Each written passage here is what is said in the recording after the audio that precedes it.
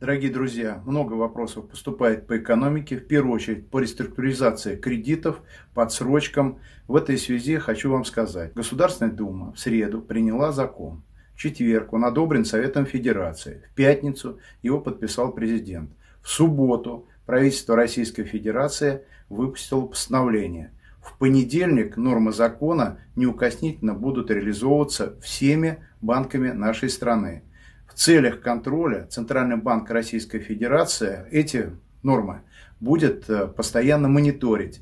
И региональные подразделения Центрального банка обязаны в том числе следить за тем, как банки э, обрабатывают ваши заявления, как они ведут диалог, как э, решается вопрос по реструктуризации кредитов. Со своей стороны, еще раз хочу подчеркнуть, если что-то не получается или видите, не работают нормы закона, пишите в паблик, будем оперативно вам отвечать, вмешиваться в эту ситуацию. Нам необходимо объединить усилия, больше вести диалог и если у кого-то случается проблема, стараться э, помогать ее решить. Спасибо еще раз.